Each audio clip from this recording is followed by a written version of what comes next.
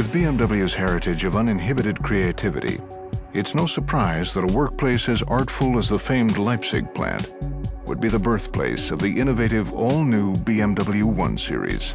This central hall is like the beating heart of the factory. The central hall links every technology, every production hall. From every place you can see the cars overhead, and you never can forget that we are building cars. The 1 Series starts with a frame called the body in white.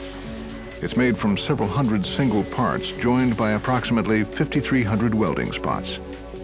This is extensively automated and done by robots for the sake of precision. And quality control is meticulous. So using lots of technologies, for example, one special technology is our laser-based measuring system, which is fixed on robots. So it's more flexible than a totally fixed system and it makes it possible to do more measuring in one station. The plant is integrated into its environment and adheres to sustainable principles, including heat recovery. In the paint shop, eco-friendly coating systems are fully automated. Both water-based paint and powder clear coat are used.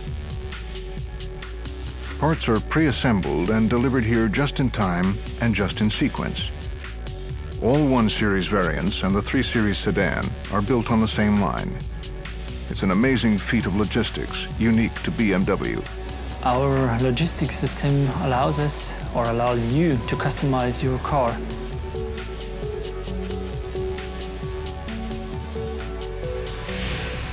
During production, the 1 Series is constantly being tested.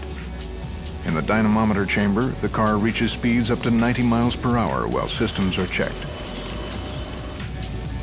and on the track, a sample of cars undergoes stringent tests for noise, vibration, and harshness.